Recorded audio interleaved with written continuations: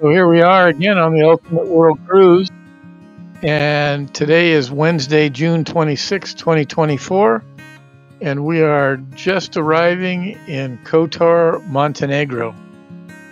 And the, really, the beauty of this area of Montenegro is in the sail in and sail out. And so I made a time lapse of both the arrival and the departure so you can see how beautiful it is. It's like it's like sailing in the fjords of Chile or of Antarctica. It's beautiful. The uh, water this time of year is about 78 degrees. And so this really is a, a seaside resort. And uh, it is almost 100% dependent on tourism. So here is a bird's eye view from way up above as we traveled out of Kotor to go to the old capital of Montenegro. You can see the Serenade of the Seas was off to the right. You'll see it again. There's an airport over to the left, Serenade off to the right in that harbor. And we sailed in around that big mountain in the middle. The Adriatic Sea is over on the left, and the entrance to it is kind of the upper left into that uh, passageway around that big mountain. And then you can see Serenade uh, just parked in the harbor there. So we had to we had to take tenders in today to get from the ship on the shore. And so our tour is taking us up over the mountains to the old capital of Montenegro, which is Cetinje, and then to a seaside resort town called Budva. This intermediate stop was at the top of the mountain up there, and I really do forget the name of it. I think it was N J E G U S I. I don't even know how to pronounce it. Nagusi. Anyway, uh, they had a bunch of local souvenirs for sale there, and also a period house here. This house was supposed to be what a typical Montenegrin house might have looked like in the 1800s. And I I focused in on the uh, meat grinder because we have one exactly like it in our house today that we still use. I'm gonna there it is right there. It's a Husqvarna meat grinder. The meat grinder like that that we have at our house came from my grandparents who uh, who immigrated from Serbia in uh, 1919, arrived in the U.S. in 1920. So that uh, family heirloom that we still use to make sausage with. Anyway, at this stop, there was a, uh, a local uh, restaurant where we tried some local bread and cheese, and it was really quite good. It was a nice stop. We hadn't had breakfast before we left the ship in the morning, so uh, we actually bought some of that cheese and some of the ham uh, that they were selling that was made locally. So we brought some of that back to the ship. Okay, our next stop was in Cetinje, which was the old capital of Montenegro. And their latest president, who was just elected last year, still lives in this town.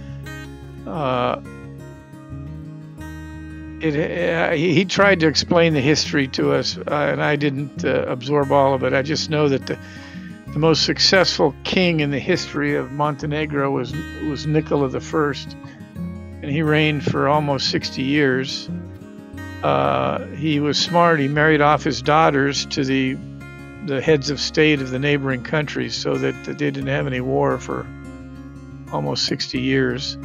But uh, one of his daughters he married off to the leader of Serbia, who, as you know, started the uh, f- First World War with an assassination. So he no fled the country, and, uh, and after that, it was a series of other people. That uh, it's been a little bit hectic for them, I would say. Anyway, this is a, a typical street there in Cetinje. It's a very walkable town uh, I don't think there's any cars allowed on these streets. Lots of outdoor restaurants. Uh, we stopped in a market and resupplied our snacks and whatnot before we uh, headed out. But there's a lot of history in this town, and it was there's a monastery where the original rulers of Montenegro lived. They, originally, it was like a theocracy, and the rulers were the leaders of the local church until such time as Nikola the First uh, took it away from being a theocracy. A very pleasant place, and we, you know, we'd have stayed longer. We probably had would have had lunch there or something. But we were on our way up over the mountains to the resort town of Budva, which is on the Adriatic coast.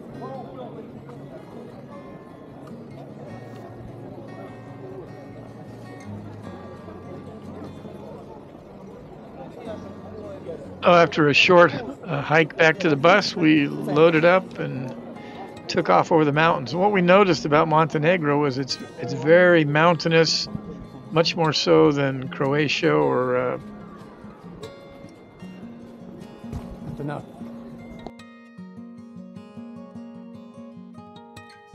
Much more mountainous than Croatia or Slovenia, and so it was very difficult for attackers to navigate the mountains here.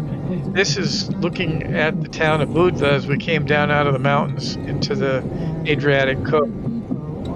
So even though you know Kotor is on the Adriatic coast, but it's way inland in those uh, inlets that we went through, and you'll see them again as we sail out. But this is right on the Adriatic coast, and it's a resort town uh, with a nice beach uh, there's an old town here that is that we're going to see in a minute uh, that has some of the oldest ruins uh, of any city we've been to. It's got some stuff from the 6th and 7th century BC. Uh, you know, we'll show you that in a minute as we get to the old town. We just walked along the beach here over to where the old town is.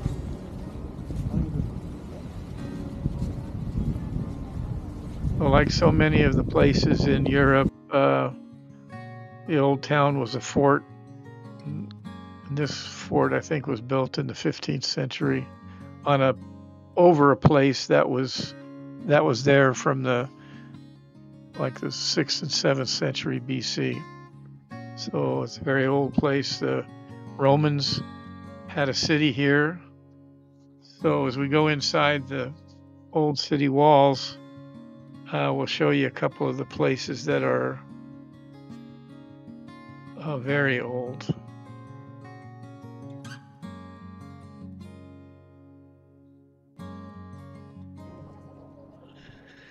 Well, I sped things up a little bit. So there's a, a, door out the back that goes out onto the beach. So this is a separate beach from the one that I showed you a little while ago. And it's unique to this little old town and it looked like a pretty nice place to spend some time. Again, the water is quite warm this time of year. It's uh, about 78 degrees.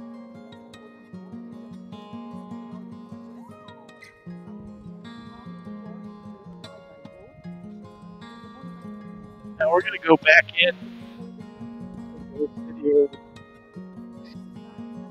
There's a foundation that dated back to the 5th and 6th or sixth, sixth and seventh century BC, and a couple of old churches as well. And there's the remains of a Roman uh, bath that was probably first or second century BC. But the water looks nice; it's clear and looked like it'd be fun to go swimming in or snorkeling or diving. I didn't see any dive shops around, so I don't know why that is.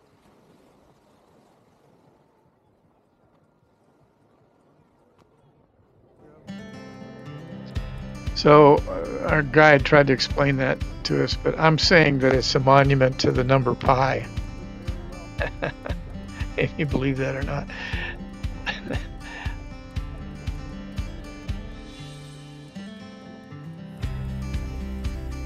All right, so now the floor underneath this shop right here is the oldest part of that's been excavated under the old city. I'll stick my camera in there and you can see the pillars and part of the floor. So they just made them excavated out and it's the shop has less floor space because they have to preserve this old old stonework down there.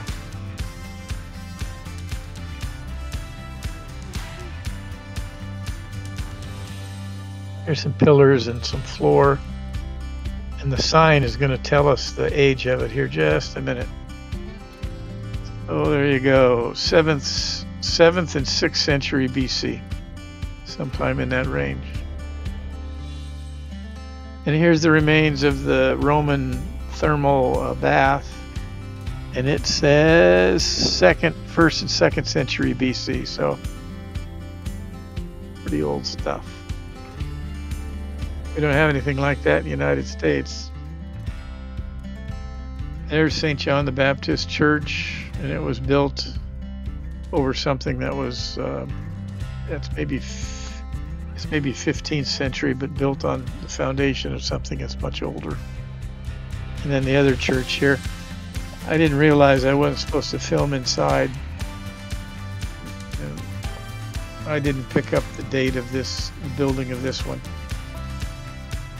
But I had to turn my camera off as soon as I got inside because there was a sign that says no photography.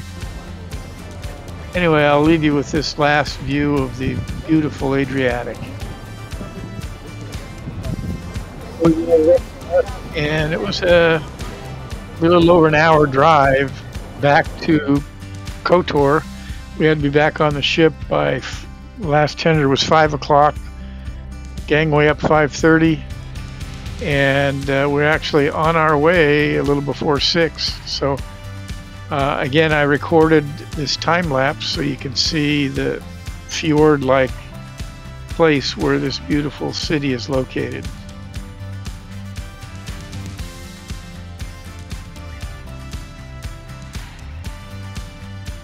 The first thing we had to do was back out and turn around 180 degrees before we could head out. So uh, how it never ceases to amaze me how they maneuver the ship so well.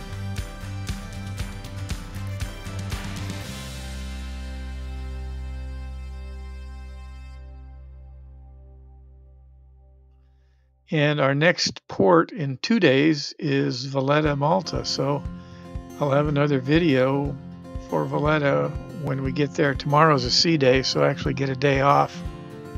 It takes about three hours to edit one of these videos and then add the voiceover. So it's not a small task.